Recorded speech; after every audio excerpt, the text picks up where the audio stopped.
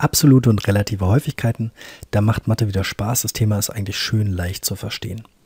Erstelle eine passende Tabelle zu der Grafik, in der die absoluten und relativen Häufigkeiten sowie die Zeilensummen dargestellt werden. Zu was eigentlich? Zu dieser Grafik hier. Ähm, wir haben hier erstmal unterschiedliche Objekte. Wir sehen zwei Herzen, wir haben ein paar Kreise, Dreiecke und Vierecke. Das heißt also, wir haben hier unterschiedliche Objekte und dazu sollen wir eine Tabelle anfertigen. Ähm, in der ersten Zeile legt man immer erstmal die Merkmale fest, um die es geht. Und das ist hier sicherlich die Form. Und wir kennen diese Form und dann sortiert man die hier einfach mit rein, indem man dann sagt, okay, wir haben Herz, Quadrat, Dreieck und Kreis, vier unterschiedliche Merkmale. Und ähm, ja, das Merkmal sozusagen ist hier das übergeordnete, die übergeordnete Bezeichnung für dieses Merkmal ist Form. Hier siehst du dann noch so ein komisches XI. Das I steht im Index von dem X. Das steht für ähm, die Merkmalsnummer. Man sagt auch für die Indexmenge.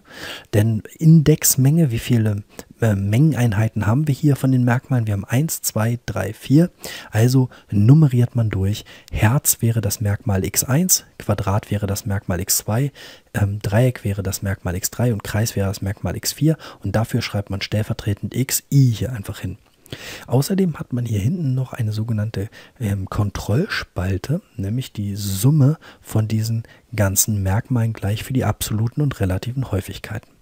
So, jetzt zählt man aus. Die absoluten Häufigkeiten, die schreibt man immer mit einem großen H und dann einfach in Klammern dahinter xi für das entsprechende Merkmal. Das heißt, die absoluten Häufigkeiten zum Beispiel für das Merkmal 1, x1 Herz, wären 2, denn das Herz kommt zweimal vor.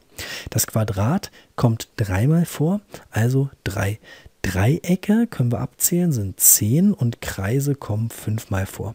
So, das heißt, man kann jetzt die Summe daraus bilden und stellt fest, es sind insgesamt 20 Objekte in diesem Bild. Und jetzt kommen wir zu den relativen Häufigkeiten und die sind super leicht auszurechnen.